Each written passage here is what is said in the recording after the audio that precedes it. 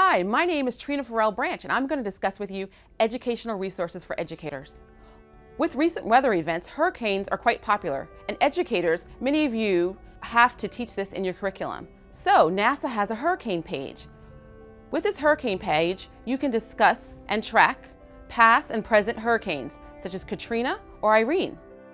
Earthquakes have been in the news recently, and if you're interested in finding out more information about earthquakes, please go to NASA's Earth Observatory site. Here you will find images, news stories, and other things related to natural disasters such as hurricanes and earthquakes. If you want your students to feel like real live scientists and engineers, then follow NASA's newest satellite, NPP.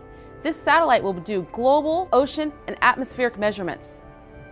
And there is a great student page associated with this. Educators, if you're interested in receiving for free the Earth Science Week kit, then here's what you need to do. Look at the email address below and email us on how you're going to use this kit in your classroom, and we will mail out 25 kits to the first 25 educators that tell us how they will use this information in their classrooms.